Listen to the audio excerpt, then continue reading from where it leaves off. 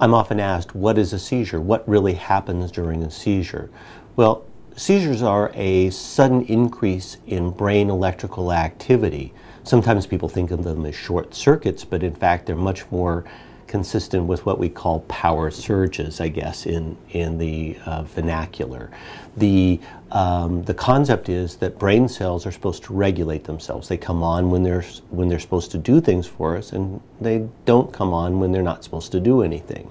These brain cells, either through a genetic uh, error or through damage, most frequently, have lost the ability to regulate themselves. So they come on when they shouldn't come on.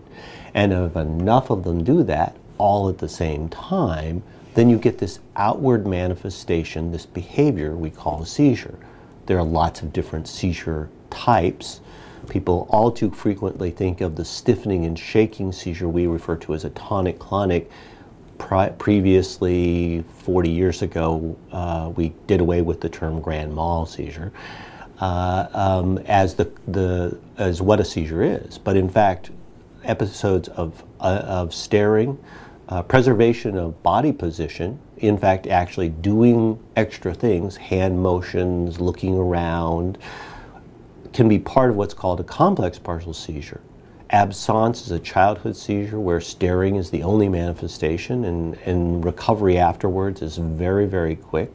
So there are all kinds of seizures, but fundamentally they all involve brain cells that are just not slowing down and they're just turning on and they eventually influence other brain cells around them and all of them turn on and boom, you wind up with a seizure.